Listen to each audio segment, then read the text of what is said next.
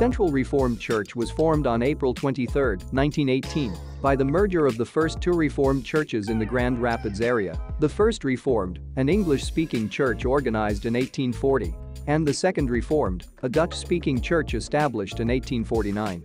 This historical marker was erected in 1989.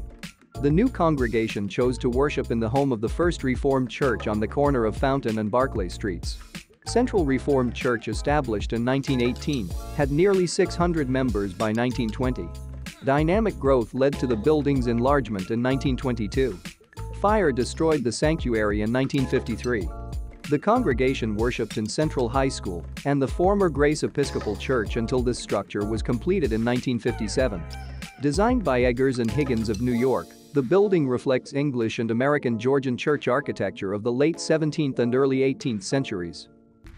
Thanks for watching. If you've enjoyed this video, please like and subscribe for more content on everything that makes West Michigan great.